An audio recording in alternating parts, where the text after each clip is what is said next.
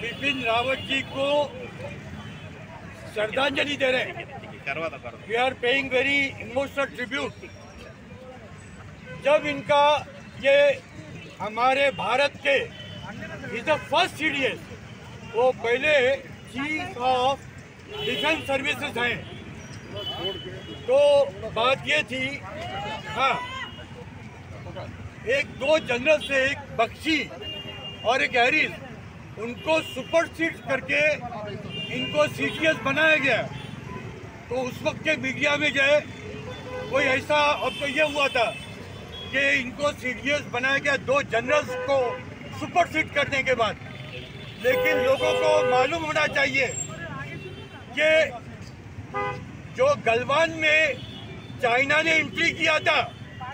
और तिब्बत और सिक्किम में चाइना आगे बढ़ता जा रहा था। तो ये जनरल बिपिन रावत थे जिन्होंने चाइना को चैलेंज किया था। चाइना को अगर हमारे हमारा जो पॉलिटिकल स्टैब्लिशमेंट है वो खाली निगोसिएशन की बात करता था और चाइना क्या करता था दो मिल घुसता था और एक मिल की बात करता था। लेकिन इज़ द फ़र्स्ट सीडीएस ये पहला जो डिफेंस ऑफ़ द सीडीएस है, जिन्होंने चाइना को चैलेंज किया और चैलेंज करने के बाद चाइना वहाँ रुक गया। Yes given fitting reply not only to China but also to Pakistan हमारी जो राजनीति है, हमारी जो सियासत है, अगर उसको किसी ने दाद दिया है the person who has given teeth to our politics to our political establishment that is Bipin Rawat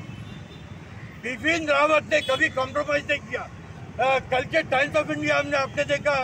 times of India में रीडिंग है he was the bull in China shop he was not the bull in China shop और Times of India ने ये भी लिखा है that was desperately needed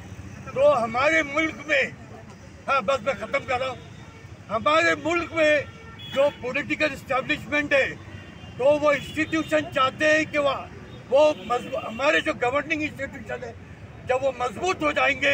जिसका message Bipin Rawat ने किया है, और जब ये इंस्टीट्यूशन मज़बूत हो जाएँगे तो हमारा मुल्क जो है, चाहे पाकिस्तान से हो, चाहे चाइना से हो, या कहीं कहीं से भी हो we are ready to